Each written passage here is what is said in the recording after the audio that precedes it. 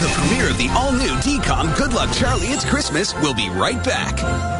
Now back to the premiere of the all-new DCOM Good Luck Charlie It's Christmas.